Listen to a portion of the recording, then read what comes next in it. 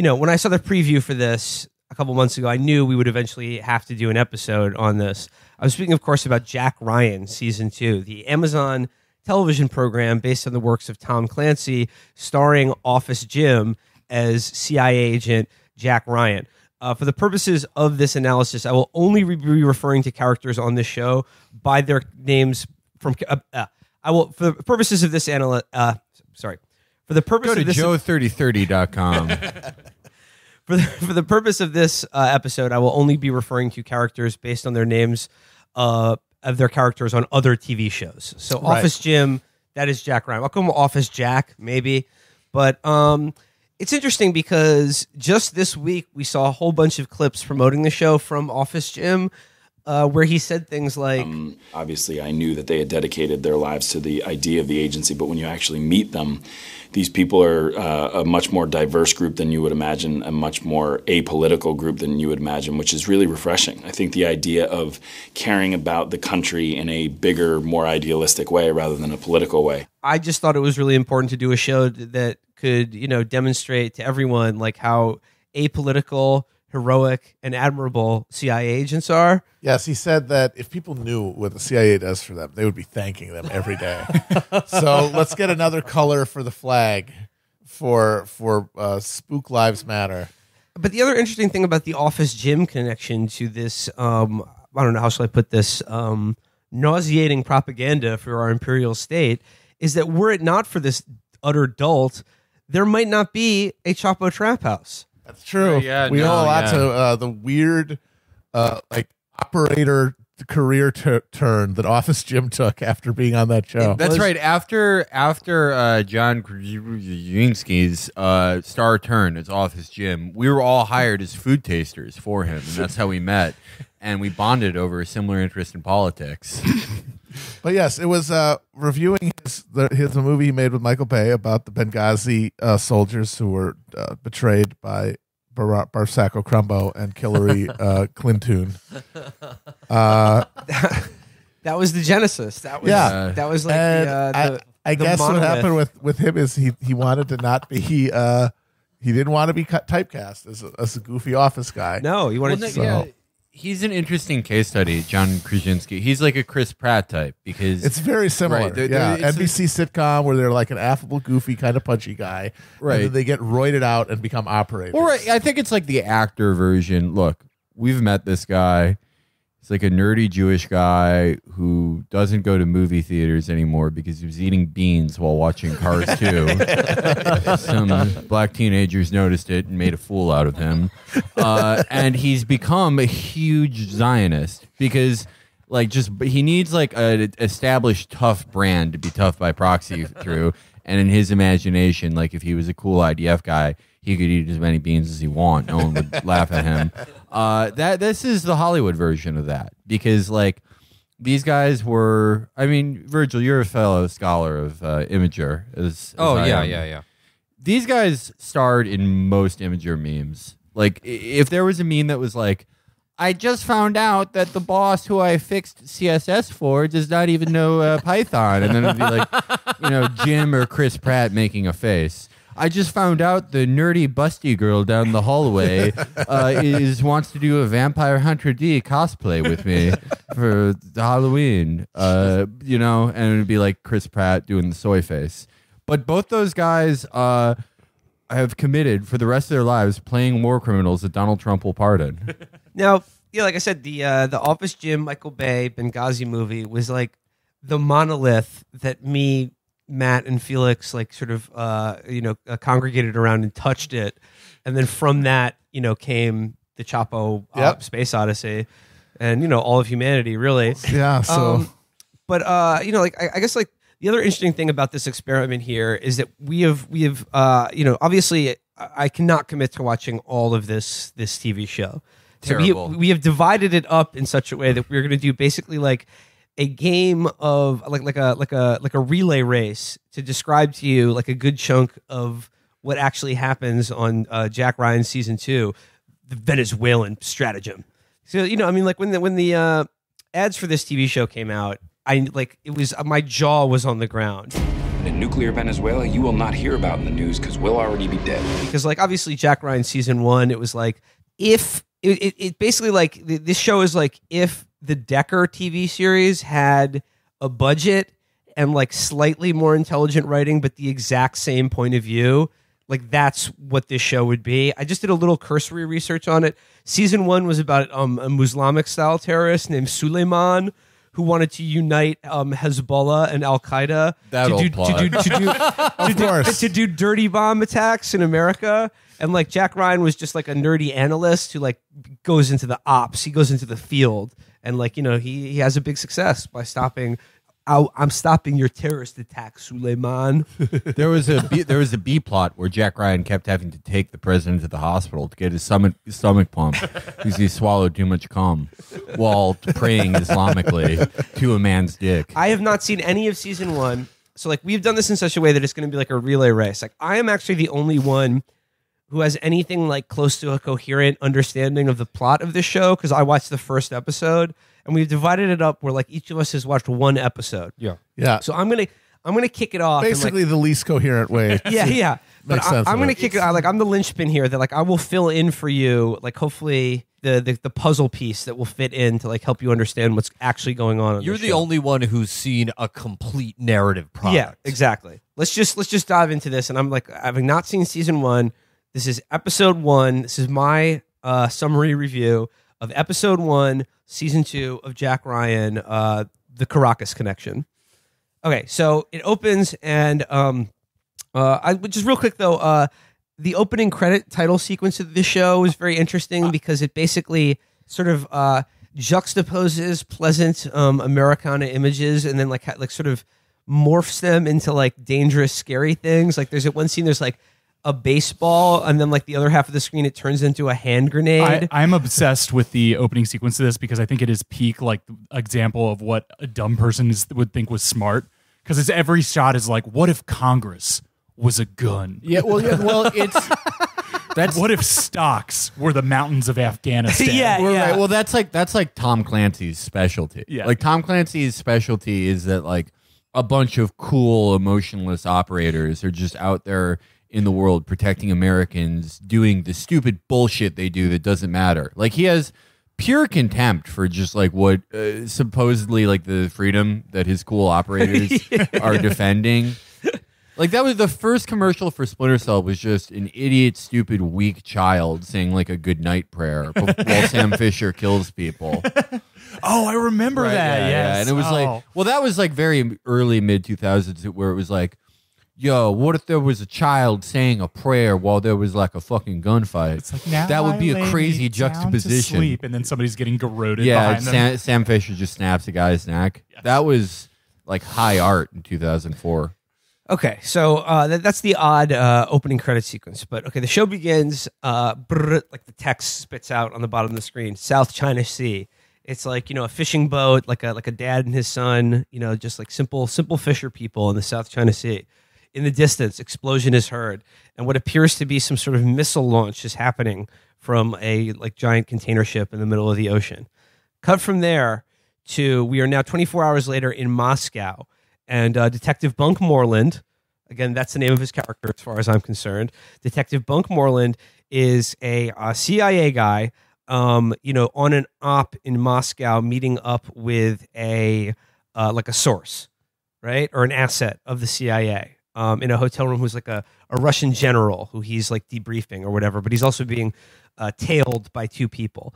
And this is like the first thing I noticed about the show is that I don't think the CIA would use a black guy um, it- to do field ops in Moscow, which is probably the most conspicuous thing imaginable. No, that, that's how you get under the radar by doing something that's so obvious that no one would do it. See? Okay.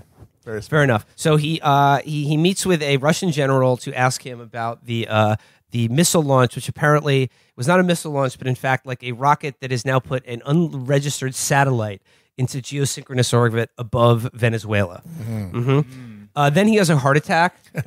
um, don't know what that was really about. I thought he was like sweating and huffing, and I thought we were going to find out he was poisoned by polonium, but no, it's just heart disease. Weird. Okay.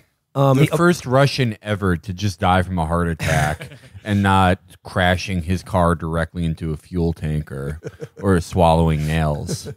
He got a medal for it. So there's um an unregistered rocket launch to put a satellite into orbit over Venezuela, and also there's the implication that uh, Russia is moving um something like like super missiles into Oh, shit. Venezuela. Okay. Oh, not super missiles. I hate it. No, dude. It's like a regular missile. I can maybe deal with that. A super missile. Well, day, day's ruined. Great. Sun's crying. Thank you. Okay. Cut from Moscow to Office Jack. He is, you know, at the front of a big, like a, a lecture auditorium, and he's giving a just like a whole uh, auditorium full of students a PowerPoint lecture that is, in my opinion, easily the funniest thing that happened on this show. So he's at, like he has this big PowerPoint presentation where he shows them like a like a montage of news, you know, uh, packages about like how dangerous the world is today vis-a-vis North Korea, Russia, China, terrorism, all these threats, and he goes, "Okay, that's the news. What is the lens you view the news through?"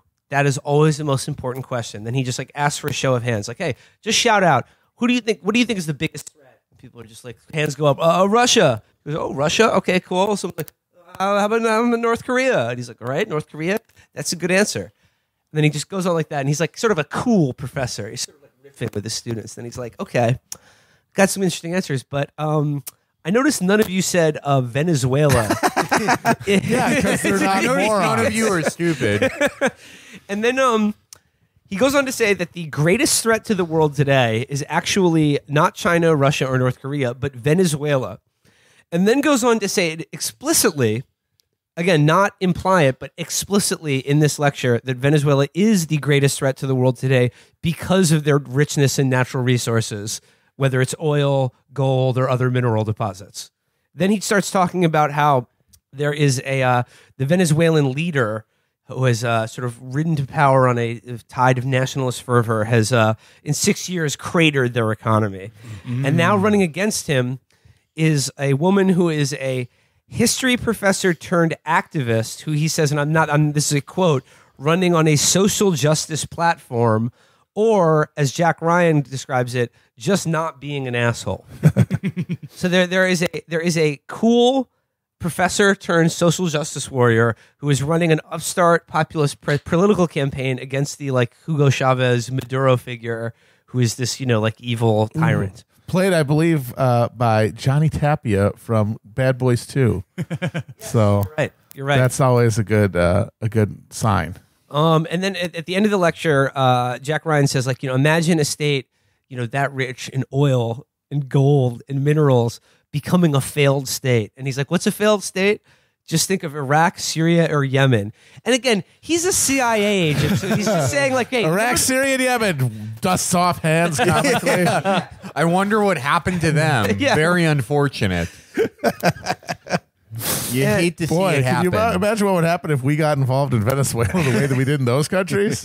And then like uh, he basically just goes like you won't hear about any of this. Like he just spits knowledge and just facts about Venezuela. Women aren't supposed to have their period. Professor, what are you talking about? they adopt an alkaline diet. You'll find that. Yeah. Now, now, General Muck Muck walks the devils back to what we call Turkey today. Are you? Aren't you supposed to be a CIA analyst? Well, I'm trying to. If General Muck Muck is alive in Venezuela, we need to contact him to defeat the whites. CIA Jim uh, spits all these facts about how Venezuela is the most dangerous country in the world, and he just says all these facts. You know, you won't read about it in the papers because, like, they don't want like, they, I guess, don't want you to know how scary Venezuela is. And also, most importantly, that it's in our backyard. Okay. But basically, Jack Ryan is a cool, nice guy, is what this implies. He's like, he's, like Yeah. a, he's like the college professor the girls have a crush on and the guys look up to and kind of want to, like, you know, admire and be like. I will also note that the dialogue on this show that isn't like about, you know, ops and like facts is incredibly, how shall I describe it?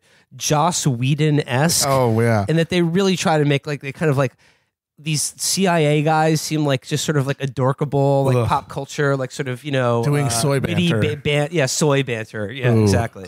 Turning my dead drop into socially awkward penguin. So Uh, yeah, I, I uh, stabbed a, a human rights activist with a fucking ricin tipped dart at the end of my umbrella. So that happened. blowing up the reporter who exposed the Panama Papers like a boss, like an epic sir. Uh, yes, Reddit, I am no longer a virgin. We did it, Reddit.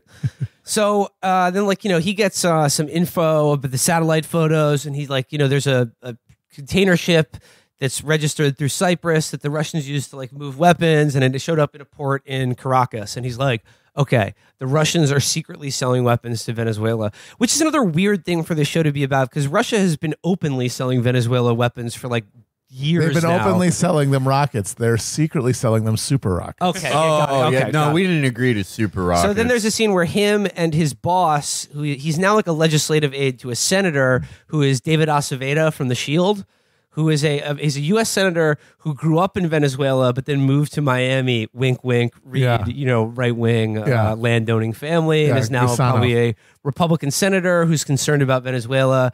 And Jack Ryan is his, fax boy, and they go to a President Davison character, and they're like here's here's the here's the intel. We've got it. The Russians are moving weapons, and the guy's just like, well, well, well, I, I don't know. I mean, well, let's not let's not just let's not just go crazy here, dude, Decker. Let's have a beer summit. yeah. and then he literally says, "Why don't we try diplomacy first? And he sends uh, David Aceveda and CIA Jim to Caracas on an official diplomatic met, like uh, mission to meet with the evil president of Venezuela and be like, um, so about that thing, uh, are you guys like maybe buying super weapons from Russia? Because, uh, okay, thanks, bye. Um, all right.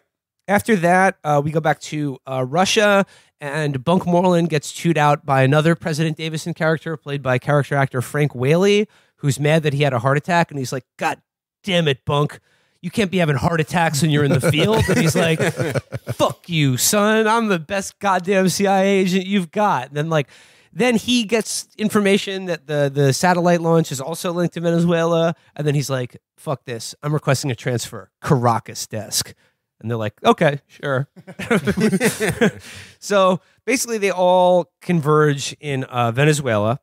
Um, David Aceveda and Jack uh, Jack Office uh, go to Venezuela, and immediately they, they get at the airport and they're like, you know, driving in in their SUV convoy, and of course they see, you know, food lines and you know poverty, and someone says to the ambassador says to David Aceveda. This is not the Venezuela of your youth. And he's like, Yeah, I've heard. Uh, the in this show, the entirety of Venezuela appears to be made out of shipping containers. Um, then they go to meet with the uh, evil president of Venezuela and like his number two guy, who's like a general who was played by a guy who played one of the Cali cartel bosses in Yeah. Narcos season three. He was very good on that show. I like that guy. He was like the main Cali boss in Yeah, season yeah. three of Narcos. He was, was he was good. I remembered him from. Um, and then like so, uh, the the Venezuelan president like they they show them the evidence and they're like, you know, you know, if you're doing this, you got a problem with America, buddy. And the guy coats them off and just is like, you know, I don't know anything about this. He just big dicks them and lies to them. And like as as they're leaving, uh, the pre- evil Venezuelan president says to David Aceveda in Spanish, he says, you know, just because you think just because you grew up here doesn't mean that you're a real Venezuelan like I am. And then Aceveda says to him also in Spanish, he's like, that's fine, just as long as you don't pretend that you really represent the will of the people.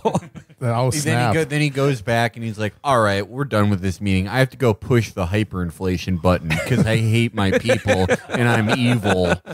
Time to go serve my people rats. My favorite thing to do. Oh, I think I'll go take all the brands out of the supermarket. I hate it when consumers have choices.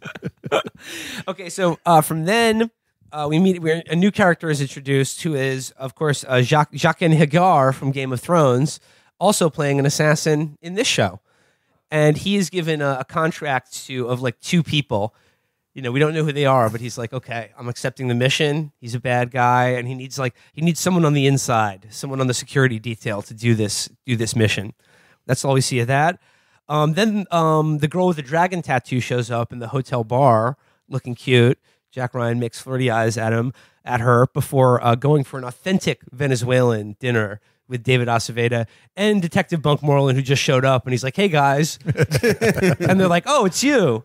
And they're like, "Oh, come on, I'm going to take you to get some real authentic arepas." And then they go to like, you know, some little beggar child like tap dances for, for Office Ryan, And I want like, to go get my MBA, but the president keeps pushing the hyperinflation button. I can't afford to go to the University of Miami. I wish the CIA would save me. Yeah. Here's your perfect arepas. So they have an authentic uh, Venezuelan experience, you know, with the real people who are being abused by this evil president and his and his hyperinflation. It's also implied that the uh, the social justice warrior political campaign that's like they, they like in the, in the presidential palace. There's a scene where the general's like, "Have you seen these polls? Like she's doing even better than we thought. Like she could win." And then it's implied that she's a leftist and Well, like that they are like pseudo right wing or something, which is very odd. Uh, she- the- well, the it's like of- says he's like a he's a socialist. yeah, it's like a, it's a nice sleight of hand that they're doing yeah. here. It's From, like he's doing it wrong because I think our guy wants to do it right. because I think they understand the sympathies of like where the average viewer for this show is going to lie, like who just like someone who doesn't really know enough, but like has a general kind of like liberal point of view.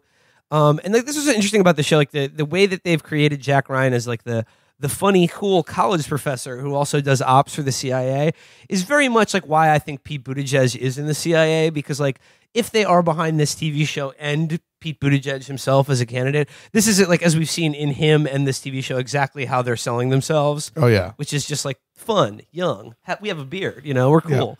we're socially aware. Tengo un, uno perro grande estructural. That's the woman candidate says. So um, there's some backstory with uh, the senator and and Office Ryan, where it turns out that he was his command. Like, despite the fact that he's a, a, a dork, he was also like an army ranger in Afghanistan. Of course. And and David Aceveda was his commanding officer who like saved him from a helicopter crash and then visited him in the hospital every day for three months while he got back surgery. It's- I, I'm very odd. Don't get it. Well, they're Um, trying to make you care yeah. uh, for what happens next. So and then like there there and then uh, office office Ryan uh, uh, CIA Jim goes back to the hotel splits off from the two other guys after Bunk Moreland's like you still got a lot to learn about being a CIA officer son you still don't know shit and then he goes ahead and proves that by um, breaking off from them getting a drink for girl with a dragon tattoo at the hotel bar and then like she just goes to this hotel room and he's like oh boy oh boy i'm gonna score and then like obviously she's a honeypot and as soon as he's like you know nutted and passed out she bugs his hotel room and takes pictures of all his precious op intel Oh no! and he's like "What a oh, crappy agent!" he's like oh wow this hot girl totally likes me Uh, oh, I've got I've got a big dead drop interception for you guys. I scored with a ten out of ten, perfect, perfect lady. So, um, okay, so I'm getting to the very end of the episode. Basically, the Jaqen H'ghar plot comes in, and there's a scene where he buys a trinket from some poor old lady on the street and gives her 10 American dollars, and she just starts like crying. She's just like, Owns. So, and then like he gets a he gets an inside guy who's like a police captain on their security detail. But uh, again, we don't really know who hired him. But the episode ends with their SUV. They're leaving to go back to America um, CIA Jim and the U- sitting U.S. senator and the U.S. ambassador to Venezuela. Their SUV convoy is just going to the airport to go home. They're like, time to go back to Washington and report on this on this information.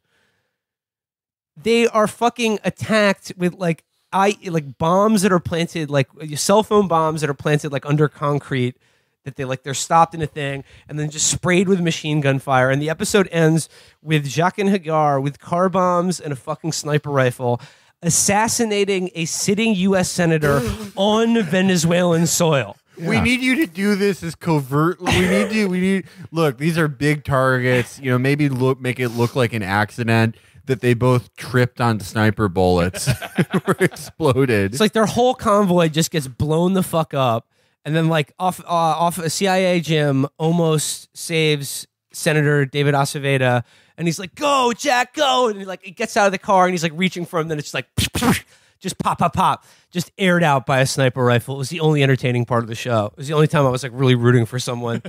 um, and then the episode ends with um, uh, CIA Jim has to call home because he's like very close to this guy and his family, and he has to call the guy's wife and be like, she's like, "Hello, hello, Jack, is that you? How, how how's my husband?" And he's just like, "I'm sorry, he posted cringe and lost all subscribers. He's been owned permanently." So yes, uh, so yeah, that's that's the end of the episode. Is his wife Pam? Yeah. Sorry, your husband has been owned. He's fucking dead. He's been killed by the Venezuelan military in their own country, a sitting U.S. senator. So yeah, that's fucking old. uh, so Venezuela. Uh, what I learned from the first episode, Venezuela is the most dangerous country in the world. Um, it's the greatest humanitarian crisis in the world. If they got a nuclear weapon, we wouldn't know about it because we'd already be dead. Not only would That's they a concern. preemptively attack America with nuclear weapons, by the end of the episode, we learned that they will assassinate a U.S. senator in Caracas in broad daylight. Oh boy, that's not good. Yeah, no, that's that's how they get you. So that's episode one. Who did Jack Ryan was in um there was a character in Hunt for Red October, Yes. right? Yes. and Yeah. Clear and Present Danger, played by Alec Baldwin, Harrison Alec Ford Baldwin, most yeah. famously in Patriot Games and Clear and Present Danger, and then Ben Affleck in Sum of All Fears. Yes. And did so did Office Jim play Jack Ryan in the first season of the show? Was Yes, It, yes. Okay. Yeah. and Chris Pine played him in an attempt Oh, to do yes. a reboot You're of the right, Jack Ryan did. character for Yes. cinemas. That that failed, and then they. But these are all these are all original stories. Yeah, yeah. I They're don't think these are based on any Tom Clancy Oh, uh, novels. this is not based on. I would any like of to the see Well, There's these, are all, these are all ripped from the headlines. You know, this Yeah. is like a, a class on geopolitics. Yeah. What's going on today? I would like to say for the record, though, that Red October, Patriot Games, Clear and Present Danger, all whip at set. Oh, Red yeah, October was a These great fucking movie. absolutely slay. They're One thing Cracker Jack. only. Splinter Cell, one of the greatest series of games of all time. Rainbow Six, probably right now the best, the the best FPS you can play. So I'm kind of shocked that the Tom Clancy, the good Tom Clancy name, has been slapped on what seems to be an inferior product. I would not up to the Tom Clancy standards that you know the Tom Clancy label that we as consumers look for. I, I believe The Tom Clancy label is one of those like baseball hats of an aircraft carrier worn by an old fat guy with mirrored sunglasses who's Cl- never been in the military. I believe there is a Tom Clancy AI that's writing all of these. Okay, who did episode two? I want to see where this goes. Uh, I did episode Okay. two. Were we supposed to take notes? Because I didn't take notes. I took a single note that I will reveal later. okay. I think we, this will go faster and faster as this goes Yeah, on yeah. and becomes more and more un- incomprehensible. Okay, so episode two owned or opens with um, the police officer who I gather led the convoy astray. Oh, his whole family gets murdered. Yes. Yeah. Coming directly from his family getting murdered to this American embassy and saying, uh, you know, uh, uh, refuge, refuge, asylum, uh, getting taken in and getting taken back to an interrogation uh, chamber where he basically says, you know, I want to confess in return for amnesty. And boy, is Office Jack not having any of that. He is fucking pissed off that his good friend, uh, Senator Jimmy, uh, got got. And he does the bad cop routine to the best of his uh, ability. And it's you know this this cop going like please give me amnesty for my for my mother. Too she's very sick. I needed the $3000 to care for her. And jack is like you shut the fuck up. You shut the fuck up and tell me about the senator. Uh, in a, I would say a moderately convincing tough guy performance from uh, Jim. Uh, Office Jim immediately knows knows knows that this i- that Reyes ordered uh, President Reyes ordered the hit. The president of Afghanistan, and he is out to Afghanistan. The president of Venezuela, well, literally sub in. It would it would, no- it would matter. not Yeah, matter. Hugo Chavez. Yeah, just Hugo, Hugo, Hugo Chavez, Chavez ordered the ordered the hit and is on his way to figure it out. Uh, meanwhile, in the jungle, some guerrillas get ambushed by some operators.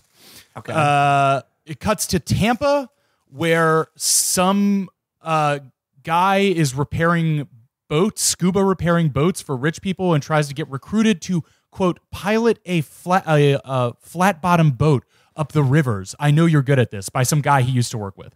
Not clear what this is. Back in Caracas, uh, Office Jim casually infiltrates a boat by just seemingly driving up to the port of Caracas, walking into it, just lifting a little yellow vest and putting on a hard hat and walking into a boat to get information. Uh, this boat is the Renata, I gather, the boat from the beginning. the Almeida. I The think. Almeida, Yeah, yes, yeah, yes, yeah. yes. He goes into the hull of this boat, looks at some documents, and immediately some guy behind him is like, "Hey, what the fuck are you doing?" And pulls a gun, or not pulls a gun, is about to pull a gun when the girl from with the dragon tattoo shows up and is like, "Oh." This is uh, my friend. He gets very lost. Remember, we had on the, the coffee and is about to carry him off the boat when the, the thug pulls guns on them and she expertly disarms him and kicks his ass. Outside, uh, uh, Jim's like, hey, no no lies now. Who are you? And she says she's Lee Klein, former KSK, now privately tracking a former businessman who's been selling arms to Reyes or to Hugo Chavez, but then got kidnapped by him. She gives Jim some information, which is an audio tape of Hugo Chavez's second in command, uh, saying, "Yo, he's blinded by power."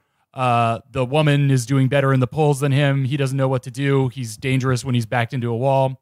Uh, they use this ta- this tape to uh, basically they give it to um, to Reyes' second in command, the uh, Cali cartel boss. the Cali Yeah. cartel boss, uh, who's his chief of security, who they're g- is going to use it to put pressure on Ubari, the second in command guy, uh, to try to flip him and turn in Reyes. All of this is very complicated and very boring. Uh, later, girl with the dragon tattoo is forced to reveal that she is not in fact Lee Klein, but in fact Harriet Baumann. uh, a Oh, what? a BND agent, uh, and she's looking for Max Schenkel, Big natural dick. a big a big natural dick, I love those big floppy naturals. uh, a BND. That's the German secret police. Yeah, the German Okay. secret police. Okay. She's looking for her former colleague who betrayed her, who also I believe set up was instrumental in setting up the hit on uh on. Is this Jaqen H'ghar? Yeah, Jaqen H'ghar, I yeah. think. Excellent. They go to confront Hugo Chavez and basically be like, "Yo, why'd you kill our senator?" He is waiting for them with a stack of papers that it is revealed to be the forced coercion. It is revealed to the audience is the forced coercion of the guys we got saw got rounded up in the jungle earlier. They're basically brought to a, a Venezuelan black site and be like, "You either die or you sign these papers." And then Hugo Chavez uh, hands them to Office Jim, and he's like, "Yeah, w- this is our top priority. We have we have already caught the people in, responsible for this. Here are their confessions." And uh, you know, Office Jim is leaving the the room with the president and basically leans in and just literally to his face to the president of Venezuela says literally, "I know you did it," and then walks out. Uh, this episode ends with uh, Office Jack getting uh, ambushed in his hotel room, his ass beat by a uh, on-scene assailant until Bunk, who was reading the Quran in his room. I don't know if this came up for anybody else. Yeah, no, I didn't get. Yeah. Uh, read, Bunk is reading the Quran uh, uh, recreationally in his room when he hears Office Recreational Jim being like, "Oh classic." no, oh no, what's going on?" And then goes in and breaks up this assassination attempt, tries to chase this guy down, has another heart perturbance, and is unable to chase the assassin down. And that's about it. I would give this episode uh, three out of ten. Mostly boring. The best thing about it was watching Office Jim uh, ha- have a plastic bag put over his head, struggle for his own life, and then stab a guy in the eye with a penknife. Did you feel that you know we were gonna get we were gonna get like a treat? The audience is gonna get a treat, and they would kill off the Jack Ryan character, and the rest of the season would be figuring out why Bunk was reading the Quran Yes. while Honest- not being Muslim. honestly, I, I would wish that it took. I would hope that the, whoever did episode three will reveal that that happens in the beginning, and then the rest of this is just replaying season one of Homeland. Yeah, that- with Bunk as the the the You don't- Koranized right? That, that's how I would have done this show. I would have killed off the Jack Ryan character, sort of in like a more ignominious way than that. Like he's he like trips and falls. he's at Buffalo Wild Wings and he just swallows the bone of a flat piece. You don't have to be Muslim to read the Quran. But, but- no, but but, it it helps. helps. But everyone, but every, interestingly, everyone who reads the Quran becomes Muslim. yeah, yeah. It's called the Quran Challenge. We take it every day. Uh, yeah. Um, I felt like I could mostly follow this without having seen the first one. Uh, the boat is full of something no good. Uh, Super Reyes, missiles. Reyes, Reyes ordered uh, the killing of the senator. Jack knows it in his heart, and the rest of it is up to put, getting all the spreadsheets together Why to did he? it out. Why did he kill this? That's like the worst thing. He. That's the dumbest thing he could have done. Uh, because they were getting too close to the boat. yeah, they were. they were Finding, finding they were out boat out, secrets. They're finding out about the boat, and they were going to take away his inflation button. Yeah, exactly. okay, who did episode three? Uh, I think I think I did. I think it was. I think it was the third episode. Why? I watched a couple others uh, later too, so I, it's all kind of jumbled. So, not a lot happens in the three in terms of uh, moving things forward. Uh, it's more scene setting. Uh, an office Jim doesn't do much. It's really two big things that I remember. One is, uh, uh so uh, Bunk Moreland in order to find out what's going on with the boat, gets a four man black ops team to be snuck into the country and go into the jungle to do a recon. And the scene, and most of it is set up is that team coming together. And the, your point of view character is like the new guy. And he joins these other three guys as they're going there. And they do. Is the- that is that a black guy? it's a black dude. yeah. That's the guy who got recruited from ta- from cleaning boats in Tampa. There in you go. episode. Yeah. So he gets recruited in with these other operators, and they're all waiting, and they're they're saying, "What's your call sign?" Uh, I'm Coyote. and This is Disco. Cool. uh, the guy goes Black Mamba, and and That's Kobe like, Bryant's call sign. well, that was it. He goes, "Do you mean from uh, Kill Bill?" And he goes, "No, Kobe Bryant." And he goes, "No, that sucks." And he goes, "So you're a you're a boat guy?" He, he's from like the boat. The boat secret service, like the special boat guys. The, the, the clandestine arm of the Coast Guard. the guys who can murder you with a boat 1500 ways and he goes yeah and he goes well that means you're a driver so i'll call you uber and that's the banter is them calling him uber That's and him not happy about it Spawn. Spawn Con. so it's uber and coyote and disco and the one more guy uh, going into the woods and, and like reconning stuff and then the other big thing is you spend some time with the the good leftist lady running against Reyes, and it's her doing a campaign speech to a big crowd of racially diverse Venezuelans who are all on uh, hanging on every word and love her. And then another scene later on at her house with all of her cool urban friends, just like quoting Max Weber and drinking drinking wine. And there's a black dude playing uh, like a, a mandolin, and they're all singing. Very much just like these are clearly the good people. these are the nice people. Because then there's, there's a scene with Reyes and his second in command where you know he can see that he's kind of wobbling and he's like maybe i don't want to be with this guy anymore. And i can't even remember what office jim did. He didn't do much. In my episode, uh, Reyes, while Office Jim is getting like a, a, a, his bathhouse beat down in his bathroom, bathhouse beatdown uh, it's intercut with Reyes hosting a lavish palatial quinceanera for Of his course. daughter, where he's Of like course. putting golden stilettos on her to signify that she's a woman, while everybody in tuxedos and they're claps. just like like flushing plates of food down a toilet. Yes. down a giant toilet. he walks in. He literally walks in and says, "Remember when we were when we were turned fifteen, we ate rice and beans. Now, and it's like a fifteen tier wet cake behind him. Uh, let's print some more money for my daughter's quinceanera to make everyone's lives worse. My favorite thing to do. I mean, I Uh, think actually in there's my a later episode, scene. I, I read. I watched ahead a little bit. There's a later scene where he has one of those bad guy meet, meet like where he he grabs off the street for because they were snooping too close. He grabs uh, a bunk and Office Jim and makes him meet him. Classic bad guy setup. Like I'm going to take you to lunch and intimidate you, and he takes him to uh, a polo field where he's playing polo. And then he gets off the the horse and he's like in his polo outfit. And they're on a beautifully appointed uh, uh like uh, setup with tables and like fancy chafing dishes and he's like ah polo is the greatest game but you cannot play it if you are poor Hello, I'm President Evil Stupid Pussy. so yeah that's that's it that's basically All it. right, all right. there's guys in the jungle and the lady uh the le- liberal left the left wing opposition lady is doing well she's speaking to people's concerns and they they they want to be able to eat she wants to give people everyone in Venezuela a tax refundable tax credit. she wants to give everybody a freedom dividend of 1000 hyperinflated dollars. All right, pass off that baton. All right. I am episode four. Our episode begins with uh, Jim is like, he has like a bunch of corkboard he's using to explain how to prank Dwight. And uh, like he's been, i the camera shows that like he has a little p- cute little pillow in his conspiracy theory room.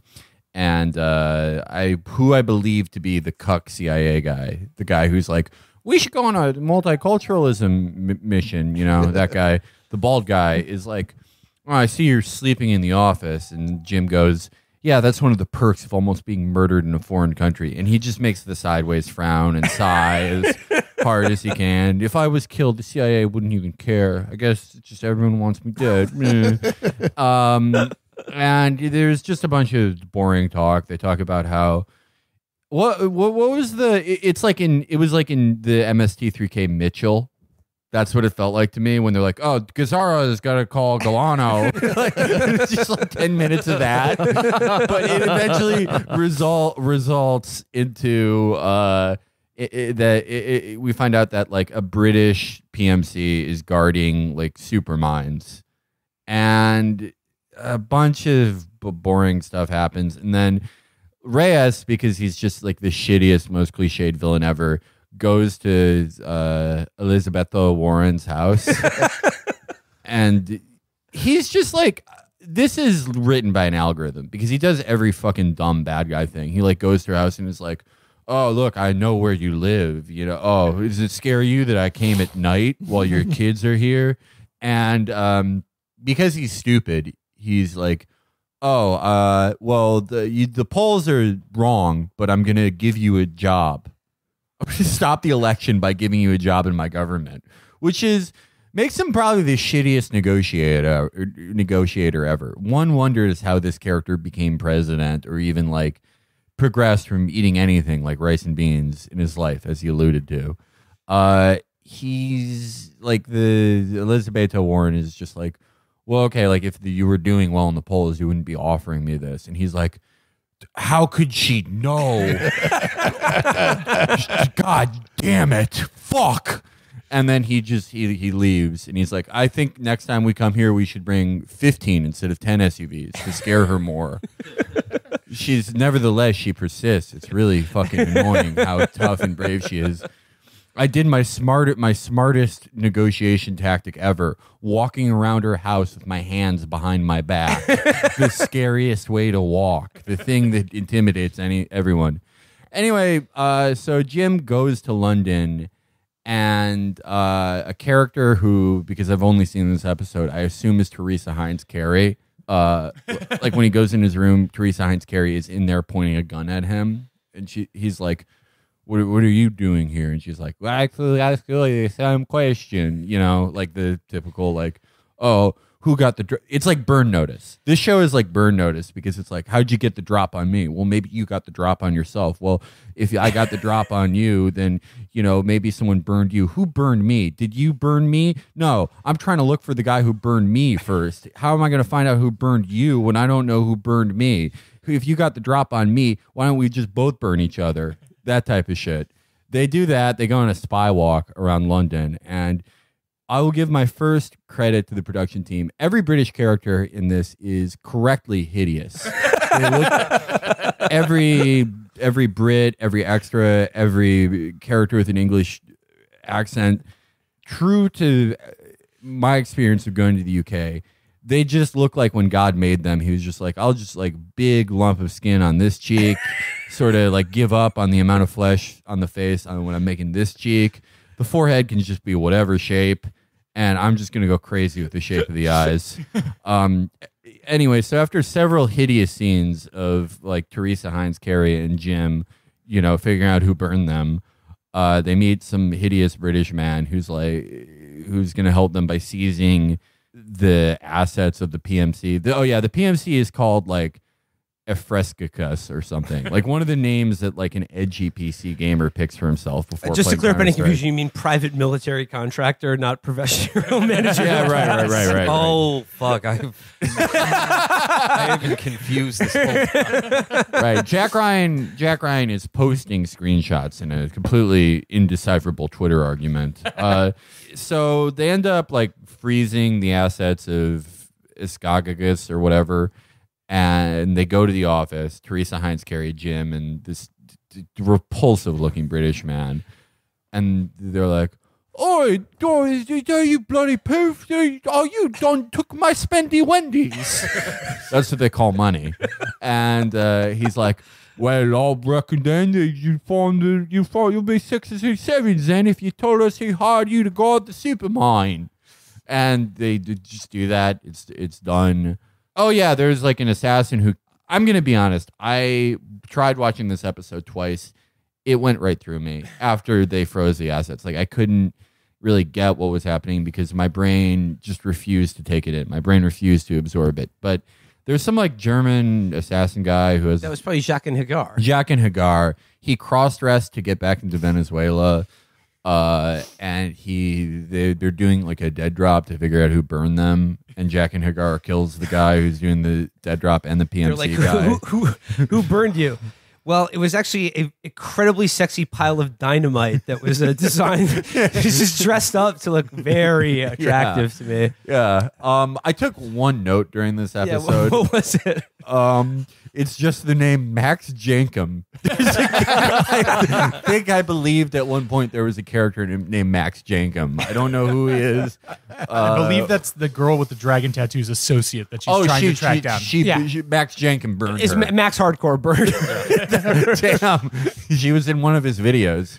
Uh, so yeah, Teresa Heinz Kerry was burned by Max Jankum, and I. Uh, Office Jim chases Jaqen H'ghar, and he escapes. and then at like the the end of the episode, I think there was a thing with Reyes, and he's like, of course, just sitting around. And he's like, "Let's burn more agents," and that's the end. like I, I like how this has gotten progressively like more and more incomprehensible. So Virgil, why don't Diary, you know what? This is this is strong. this is actually like the Office episode where uh, Michael has a movie day, and it's like and asks Kevin to recap the last ten minutes of um, uh, Varsity Blues.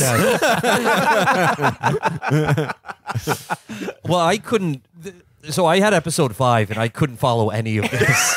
it was because the way people were posting about, like, you see the trailer and you see Office Jim like go to the Aspen Ideas conference and talk about you know how the CIA is uh, made up of heroes, and you think, okay, this is going to be like crazy, like in your face, stupid shit, and instead it was just plotting and boring. Uh, it starts off in the UK. Where I guess there's a shooting or something that takes Right? place. They, they killed the guy who burned Max Jankum. Yeah, whatever. uh, and uh, so Office Jim goes to uh, some house and like breaks into someone's study and is trying to crack into someone's uh, fucking computer. they, Yeah. she, I w- they. I'll tell you who they need is Master Codebreaker Kingston. Yeah. yes, yes. No, he, so he's trying to crack into someone's computer to uh, get their nudes and leak them to the fappening or something. and so he calls uh, CIA headquarters. He calls uh, Cheaty. It's Cheaty from The Good Place. And oh, he was in the first episode too. But yeah, he just for one scene. Yeah. So they do like some banter that's like, "Hey, hey, Cheaty, you still cracking codes over there? it's cool." Uh, and then Cheaty's like, "Oh yeah, you got to break into an Apple computer. Uh, c- call me on my personal line." Like I don't. I guess you're not supposed to do that. You Wait, know. what? He's like, you know, don't call me on my office line. Call me on my like personal cell phone, and I'll show you how to fucking crack into an Apple computer. Oh, Okay. Uh, because I guess that implies that you know Apple computers uh, have an encryption that they can actually break, but they're not supposed to do it. That's baffling. Okay. Okay. Uh, then uh, Jaqen H'ghar, who I- did not recognize was Jaqen H'ghar. Oh, yeah, that was but him. he is. I thought he was just you know your average uh, business pervert. Uh, he's like a one-eyed German guy and he's very business pervert uh, demeanor, and he's interacting with some woman, and he's like, you know, "S- I told you to stay out of my way. And, you know, I won't warn you again, something like that. I don't Yeah. know. I don't know who this woman is. Probably the girl with the dragon tattoo. I, I guess Yes, I it never was. saw. It- it I was- never saw those movies. So I it don't- was it was Noomi Rapace, who, what? who I believe is who you think of as Teresa Hines Right, Carey. it's, it's Oh, great, okay. Yeah. okay. So he's like warns Teresa Heinz Kerry to stay out of his way because he's got a mission here. Uh, and apparently the mission is to, you know, just to get off his gym. Uh, okay, so there's a B plot here. Maybe probably, actually, no, this is more like a C plot that just cuts back to the Venezuela election, and like very little is happening in this whole Venezuela thing. We don't get to see uh, the the dictator. We just see uh, the the uh, Elizabeth Warren like give a speech. Yeah, the second speech she gives, just another- just, it's just like another five minutes speech. of being like, "Hey, I want good things and not bad things," and the audience going, "Yes." Finally, someone's gonna throw away the inflation button. Thank you. Turn the big knob from inflation to deflation. and then there's another scene that's just her at her campaign headquarters, and there's a map of Venezuela there, where it's like the electoral college, and her advisor, uh, uh, she's talking to her advisor, who says, "I think you should go to these two cities," and she says, "But we're behind in the polls in those two cities," and he's like, "No, those polls are cut on social." You're, No, that that tells a that's different Bunk story. Moreland who told her that. Yeah, yeah. He Who is a literally polls. CIA agent, and he's like hanging out and doing security for her. She doesn't know he's in the CIA. Oh, I thought he was her advisor. No, Oh. no, she's like an informal. he's an informal advisor who is actually a CIA agent, and it's supposed to be cool. Like, Okay. oh, she doesn't know that he's he's got the CIA in her corner. He's he's pitching her on a, a bold new plan to outlaw eating zoo animals. so I guess uh, so. She's like, "Yeah, let's do it. I'm gonna uh, go to these two cities and win their electoral votes or something." And uh, I, but that it just ends there, and I guess that's gonna be followed up in the next episode that we'll never see because we're all forbidden from watching any more. Episodes I couldn't do the that though. I watched that ahead, and I I found out what happens at the end. Oh, okay, all right. All right. Well, don't don't. Don't you watched the whole thing? Well, don't spoil it. You can't. No, no, No, you this need is to se- know how this ends. Okay. Okay, Yeah, yeah, well, let me me how finish. it Let me finish. Let me Okay, finish. Uh, okay, so that was like the C plot with Venezuela, like very little Venezuela stuff. So the main thing is Jaqen H'ghar trying to kill Office Jim, and I guess the the woman like meets up with Office Jim and is like, you know, uh, and- and Jim's like, why did he let you live? And Teresa Heinz Kerry's like, because he's in love with me. and Oh, he- but he like fucks a man in my episode. I forgot. well, he told part. me. He sa- she says something like, um, something like, you know, he told me that the first rule of being an assassin is never fall in love.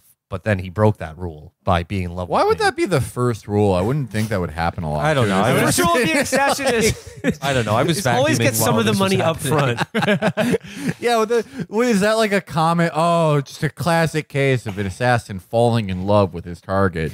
Happens literally every time. Okay, so she goes with Office Jim to the train and makes out with him on the train for some reason. And then like I don't know to like hide him from Jaqen H'ghar, and she like leaves the train right as the doors close. So so Office Jim gets away, and then later Jaqen H'ghar takes her to a car and is like, "I warned you not to get in the way of my plans," and then shoots her and like takes her wallet, something like that. Oh, dude, he is gonna get such a nice train ticket with that wallet. So, so then Office Jim. Well, I'm not done. Uh, So then Office Jim goes to like Oxford University to the library where he like talks to this young woman and is like, you know, hey, I'm I'm I'm Jim from that show. that, you know, you yo, yo, young you people trying, you trying to fuck? young people all like now. Uh, and uh, she's like, "Can I see some IDs?" Like, "Yeah, sure." And she's like, "Yeah, your dad. Um, I need you to call your dad." Because her dad is Jaqen H'ghar, and tell him to stop doing assassination. That's the second rule of being an assassin is don't pick up a phone from a call from your daughter while you're on a job. What a and pussy! Dude, and, and then so she stabs him with a penknife and runs out. And he like just runs after her, and everyone's like fine with this. Yeah, he pulls a gun on a on a student Yeah, he outside pulls the a gun. library, and there's no one around being like, "What are you doing?" Uh, and he's like, you know, I know you think your dad is part of the good assassination guild, but he's actually become a bad assassin. Wait, And is this actually the Assassin's Creed show? Did we fuck up? uh, yeah, that's about it. So what I got from my f- further looking into it, so No, the series ended. so That's That was it. yeah. the guys in the jungle find a a prison filled with political prisoners, including the candidate for president's husband, who's been missing for a year and has been disappeared in a in a political prison. They also find that it's not weapons that were Russians were, were snuggling into Venezuela. It's mining equipment because the place that these mercs are guarding is a huge mine deposit for this uh, like unobtainium metal used in Oh, uh, yeah, yeah, yeah, used yeah. in uh, like cell phones. Yeah, yeah, no, no, that's what they were talking about. Uh, I, I fucking, I blacked. This, Iridium.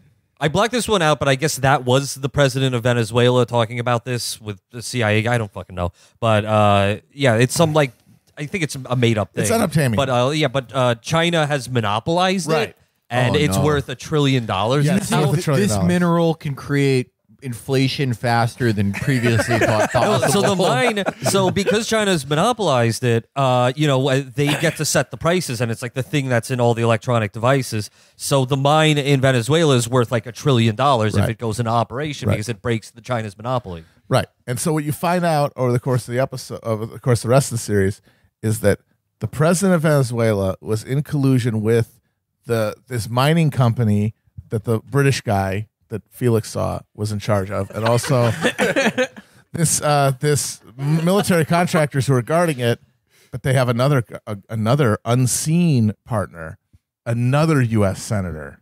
Oh, it's uh, there's Bernie an Sanders. evil- yes. there's an evil senator who is behind the scenes negotiate doing this w- and making a deal with Reyes so that they can Is, have is he like an old droopy guy? yeah He, I think he he called Jack in my episode to be like, so sad what happened to Senator Jimmy. Right. If you need anything, yeah call and he me. is of course behind the whole thing Mm. because they want to create an alternative Chinese unobtainium. But like, They're willing to make a deal with the Wait a evil second. Chavez second. guy. If you're the CIA, wouldn't you be trying to break China's monopoly? Yeah, on yes. you would. That would be your job.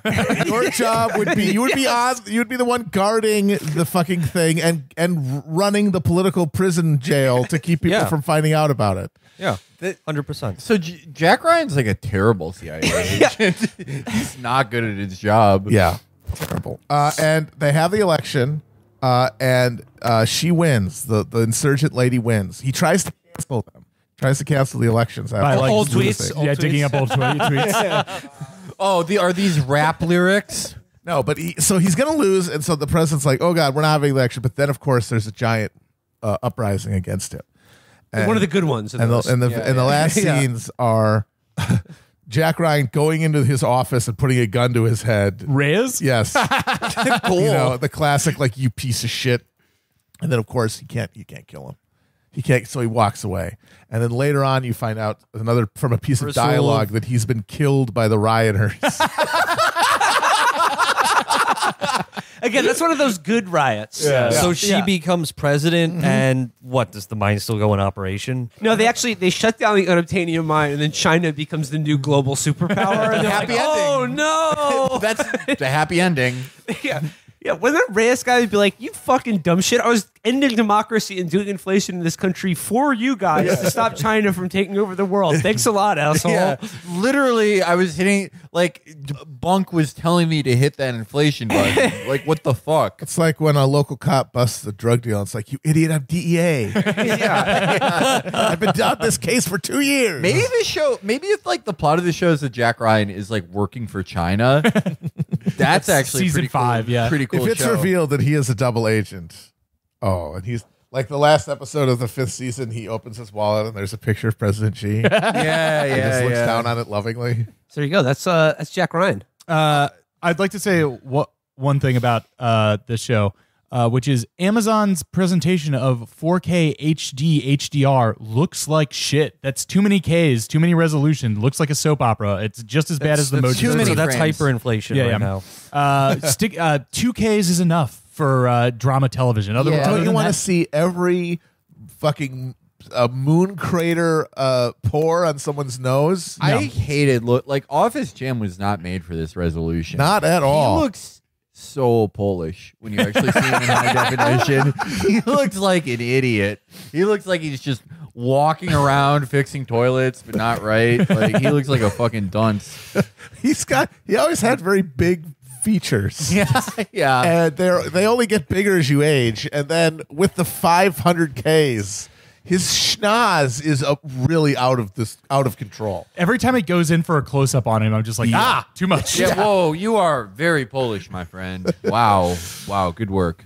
I didn't think we would get enough, Yeah. but like that show because like when I watched this show, I was like this is so fucking boring. Like I was I was actually I came up with something while I was watching it where like the polit- the delineation politically between like types of media we have now is sort of perfect because what is this but sort of like the Buttigieg like sort of neocon consensus foreign policy like sort of feel good center right liberalism Literally produced by Amazon, Right, the biggest company. right. Yeah. Huge and, CIA and, contractor. and of course it's true, too. it's boring and sucks like you look at it and you're like I guess like some thought went into the production but it just like you just feel nothing it makes Well, you like I and- said, it's like do- it's like Decker with a big budget. right. right. It's like as meandering as any season of Decker, because like it because funny. it's like its ideology is collapsing on itself. It doesn't know what it's believed. Like it's just if you boil it down, it's just like outright fucking neocolonialism. But they dress it up and sort of like feel good identitarian politics, but the result is just this contradictory mess. It's incredibly dull and just makes you angry and bored. And then you let's compare it to like one of the last things we watched, like MAGA programming. Like we saw like that insane Christian in the woods movie. And it's like fucked up and like the message is like terrible and like it looks it looks like shit. But you're like this is really this is like deeply funny. This is deeply Yeah. funny to watch. That is that the two types of media we get to have. Mhm. And like you said about about the the the Jack Ryan uh, point of view of of that TV show is like now that we figured it out and like Matt has given us the final piece of this puzzle here. Essentially, the message of the show is that Venezuela has absolutely no right to sell their own natural resources on a global market. How dare you? Like that that is the source of all their villainy. How dare you And you? then also that they use private military contractors to guard uh, their uh, spoils. How dare you, sir? I mean, I think they were implying, well, oh, he's going to take all this money and you know Not gonna what? do more polo playing. just with to it. have Yeah. yeah. quinceañeras every day. yeah, Yeah. Well, no. So wait. So wait. So the, the idea is here is the CIA is gonna has a problem with this guy because he's gonna like take control of a natural resources and then like sell all the like use all the money to enrich himself and sell it to on a global market rather than redistribute it. Because like it, let- let's say the uh, El- uh, Elizabetho Warren character comes into office and she's like, well. I'm going to like nationalize the unobtainium mines and use the uh, money to fund social programs. Oh boy, Jack, here you we have a go new again. Jack, you and Max Jacob are going to work together to kill this woman. And then Bunk is like, "Oh shit, yeah, here we go again. yeah, I have I'm, to- I'm, I've had too many heart attacks for this shit." oh yeah, So Uh, Jack Ryan, uh, I give it a I give the Yeoman's two out of ten stars. I, I assume that the out of all the episodes we watched, episode five, Virgil's is the highest rated because it features a train. Wow, you can't the even get train- it up for the train. even the train didn't do it for you. This is a very enervating experience. Yeah. Oh, uh, also, uh, if you're wondering what the hell happened to Jenkin Jaqen H'ghar, he gets Jack takes the daughter hostage and does an exchange where it's like, "You tell me who hired you," because he needed to confirm that it was Reyes. Uh, you tell me who hired you, and I'll give you your daughter back. And the guy shows up, and he's like, "Tell me, it was Reyes, wasn't it?" And he's like, "No." And he's like, "Tell me." And he's like, uh, "I'm not gonna tell you, bitch." And then he goes, he goes to kill him, and then Teresa Heinz Kerry blows his brains out. She somehow got there, even though she had been shot twice uh, at the end of Virgil's episode, and was left in Germany or something. She got to England to exactly where they were, and was there in time to to shoot. Uh, the Why is Reyes trying to kill off his Jim? Because he knows, too knows much. too much. Why? Because he's smart. Yeah. he reads Yeah, the news. he's a- yeah, yeah, yeah. He knows that Venezuela's bad. We have to kill him. that is the other thing. Like, Like that's the one thing you can't do is kill a CIA agent. like that's the one thing that gets you pretty Much fucked. less a senator, like a U.S. senator. we got a lot of those. I watched the. Uh, That's fine. No, like, like in my, because I like watched the previously on like to see what happened in season one if it had any relationship to, and it really on the previous previously on sets it up that like the thing about Jack Ryan that's special is that he's like a numbers and spreadsheet guy, and Yeah. that is how he gets his information. But then he can also hold his shit in the field, and so that's the combo. Yes, yes. This at least what I watch, he does zero anal- analysis. The guy, the Senator Jimmy gets assassinated, and immediately he's like, "It's hundred percent Reyes. It is the the guy. Why is it the guy? He's bad. Why is it he bad? Because he's the guy. Yeah. and Uh, it's everything is immediately one one line to that. No spreadsheets, no numbers, no forensic accounting. Very bad. I would like Uh, to see him do some math. I will point out that uh, that uh, CIA Jim's CIA nickname, according to Bunk Moreland, is Bright Boy. Bright boy. He's called Bright Boy because he has he has facts. He has so many facts, and he's so smart. The other thing I'll say is the, the the only pleasurable part about my episode was the scene where their SUV convoy gets just like fucking owned with fucking bombs and sniper rifles, and that's Throwback, call back to uh, Clear and Present Danger. yeah, exactly. No, that that's the scene was very much a ripoff of the very great scene in Clear and Present Danger, where the cartels use RPGs to take out a CIA convoy. Yeah, that ruled. But the scene where the David Senator David Aceveda just gets like Sonny Corleone in the street by Jaqen H'ghar's sniper rifle, man, it just took me back to like the aughts when like John McCain and Lindsey Graham would rock around a market in Oh, Baghdad. that was just like Especially when you realize that the closest equivalent to uh, the Aceveda is uh, fucking Marco Rubio. yeah, no. if if this show was like you did like a show about like you had the Aceveda guy would be perfect to play like the real Marco and like have like the real Marco drama. you, know what, you know what I'm talking about? Is it a family families drama? if you feel me, This is us. yeah, no, you did all of us. Yeah, It's also funny that like okay, so assassination of a sitting senator. Uh, I'm, I'm trying to figure out what the show's re- quote relationship to reality is. The assassination of a si- sitting senator in a foreign country. Wouldn't the closest thing to that be that guy who got murked by the Jim Jones? People? Yeah. Yeah, yeah. Honestly, that was a, yeah, Yeah. congressman. Guyana. And, That- and that was like unprecedented. Yeah. Yes.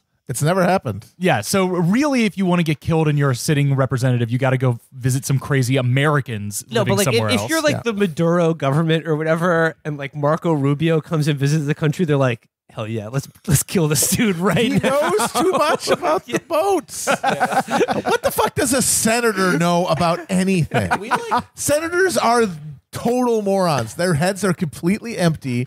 And they get a thing handed to them by a You have to staffer, put- and then they know that for as long as it takes them to read it, and then they don't remember it. The staffers have to put peanut butter in their mouth to make it look like they're talking. Yeah, senators senators are constantly have to be tricked into eating their heartworm medication. I mean, okay, like so, just taking the show like like like as a whole, uh, you know, show about the CIA, produced by Amazon, a CIA contractor, starring. Uh, You know, uh, Office Jim, who's just recently been in the press talking about how much everyone should love and respect the CIA because of how heroic and apolitical they he's just, so, are. he's just so happy to finally be able to give back to the CIA. Exactly. Did Office Jim also direct this? No, no, this is this is not. yeah, Even yeah, no, I know he is a director. He did he did a, a Quiet Place. yeah. He also did an adaptation of a book of David Foster Wallace short Oh right, I remember Three that. portraits of hideous men. Right? Yes. Yeah, it was the one-time name for this uh, show. but um, uh, no, I mean, just like overall, though, I think it was funny that this was like heavily promoted like months ago when it was just like you know, Caracas, they're gonna get a nuke. We're not even gonna know because Washington will be a fucking crater by then. you know, I, you know, you can read between the lines about like what I. I'm just saying, I I want to believe what is going on here, which is this is just a pure press package by the CIA, and like the fact that the Office Jim character is sort of like cool and funny and smart, and is basically Pete Buttigieg. Uh, obviously, what's going on. Hilariously, though, the Venezuelan thing just like died on the vine. Yeah. but like the show still came out in time for them to have another coup in Bolivia. So they should have just switched the names of the countries that they were. Yeah, just talk- have them, yeah. like Yeah. every time they mouth like when they're going to say Venezuela, it Yeah. turns into They're Bolivia just and like, the ADR. like, we have to go to the presidential palace in La Paz. I mean, this is like, couldn't they make like more exciting propaganda? Well, I mean, so like- fucking boring. I think back to, It's like, the just fucking- entire the entire show is like. But what were what were they doing guarding boats? Well, the boats aren't what they're guarding. The, what's on the boats is what they're guarding. But who do you know? How did the boat driver get burned? Well, you don't know who burned the boat driver. Oh, I have to go to London to find the boat driver. No, the boat driver's coming to Germany to find you. Well, I have to find him. Do you know Max Jankum? Like that's the entire show. I mean, It's this is interesting to think about that because, like, I think about like like an earlier era of like reactionary propaganda, which are like all the best '80s action movies, Yeah. which are wonderful. But interestingly, about those movies, even the most right wing of them, the CIA are still always the bad guys. Yeah, or just yeah. always shown as just like these simpering, like backstabbing, like office, like Murdoch and drones yeah. Rambo too. Yeah, exactly. They're they always they're the people who don't want us to win or are also secretly working with the bad guys. They're all just suit wearing pencil pushers. So like now What's the matter? CIA got you pushing too many pencils. So like now that we have media that glorifies the CIA, it's exactly as boring as the people who work for it, you know? Yep. Yeah. Uh, there's, there's only so much you can make interesting about that job. If you're not going to show the real cool stuff like going over Epstein blackmail videos and and uh, you know uh, making deals with the Sinaloa cartel and and you know the Golden Triangle, that stuff's interesting, but you never see that. Well, uh that's uh that's that's Jack Ryan. Yeah.